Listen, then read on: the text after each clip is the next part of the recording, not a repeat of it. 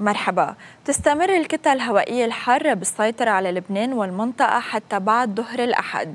يعني باختصار طقس الأحد كتير حلو والأجواء صيفية بامتياز. الريح جنوبية بتوصل سرعتها ل 38 كم بالساعة. ببيروت الحرارة بتسجل 31 درجة 29 بدير القمر 32 بزحلة أما الأرز ف 23 درجة.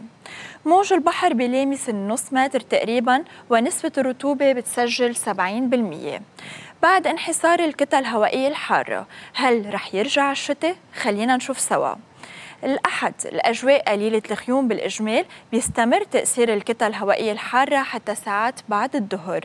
تنخفض الحرارة مثل ما شايفين أيام التنين ثلاثة والأربعة. تترجع ضمن معدلاتها الموسمية ومعدلها بيتراوح بين ال 28 وال 29 درجة. هذا كان كل شيء تصبحوا على خير.